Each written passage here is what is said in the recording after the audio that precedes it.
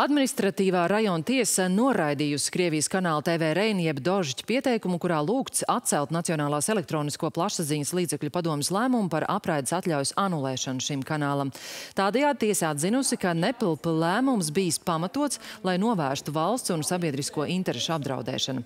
Tiesas ieskatā kanāla izdarītie pārkāpumi bijuši pietiekami smagi, lai tā pārraides atļauju anulētu. Padome kanāla darbībā bija fiksējusi vairākus pārkāpumus.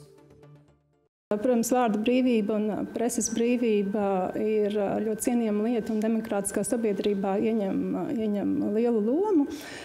Tomēr ir arī zinām ierobežojumi, kad, kas ir jāievēro, izmantojot šo brīvību. Lēmumu kanāls Dožģi varēs pārsūdzēt mēneša laikā. Tā kā Dožģi lēmumu saņēma tikai šo pēcpusdienu par iespējamo pārsūdzību, kanāls vēl lems.